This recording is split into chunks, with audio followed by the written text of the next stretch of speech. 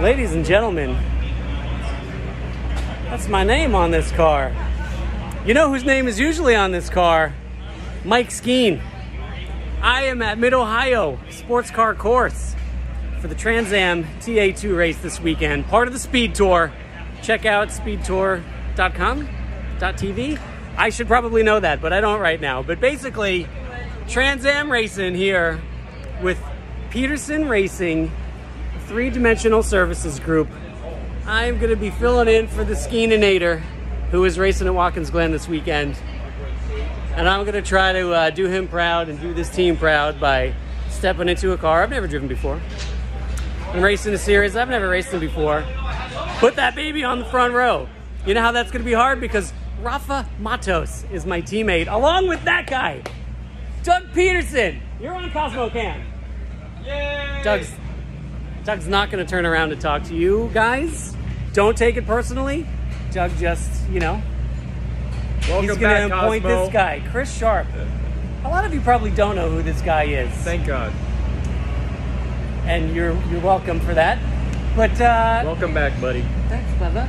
Chris and I go way back, like to my very first sports car race ever in 2003, the 24 Hours of Daytona, That's right. The good old days. with Mr. Darius Grala. You might recognize that name because his son Kaz Grala has been racing in NASCAR and all kinds of other stuff. And uh, Oz Negri was in the car, and so was our good buddy, the late Josh Rem. That's right. Really Josh. miss Josh. Oh, we miss Josh. What a character. Holy cow, that guy was funny. And he And was a great driver. He was a good dude. Uh, so anyway, we go way back. So we're getting the band back together. Welcome back. Now, I'm going to try to keep this under six minutes for you guys. But uh, for those of you who may not remember, way back in the day, I used to race in Formula Mazda in the Pro Mazda Championship against Mr. Doug Peterson. Doug was an assassin behind the wheel. I'm going to put these back on. It's a little bright. There you go. I'm looking a little funky today. Make sure I'm all right. Did you see that? Wasn't looking so hot. Anyway, look at this thing. We got some duct tape. We got some seat pads. I don't know if you guys know, but Skeen is a tall dude. Brother's big. So I think it's funny. I was thinking about this. I got some big shoes to fill. Literally because Mike is so big, he's got big feet too. Right? I mean, the guy can step on the gas, so you know, you gotta have good big feet. Anyway, here's our car. It's pretty, uh, pretty raw. No traction control, no ABS. It's a V8 that puts out I don't know how much horsepower. I'm gonna go like 600-ish. I really have no idea. But the car is a blast to drive. I did a couple laps in it at uh, Kershaw, Carolina Motorsports Park last week just to kind of see what it was all about. We had a little bit of rain, so it wasn't, it was a bit of an interrupted day. But this is gonna be awesome. And this field is super competitive.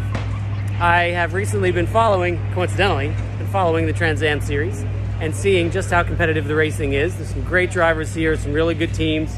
Everybody knows their stuff, so I'm stepping in and I'm gonna wing it, if you know what I'm saying, and do do what I do, see how it goes. So I'm number 89, and yeah, if you go to uh, SVRA, Sports Car Vintage Racing Association, or just look up Speed Tour, look up Trans Am, you're gonna find it.